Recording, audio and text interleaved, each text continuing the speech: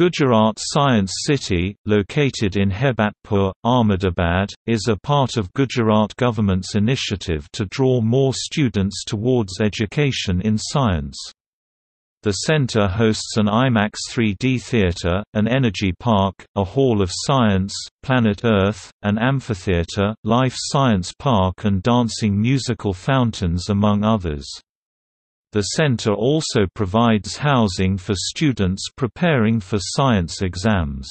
For last few years, a program called Vacation Training Program on Bioresources for School Children is being organized by Science City with the help of government funds to encourage students regarding bioresources.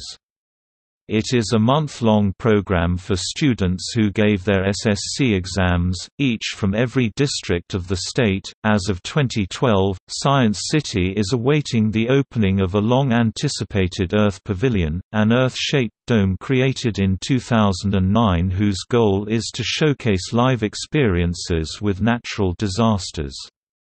The pavilion will detail each continent and allow visitors to participate in hands-on activities.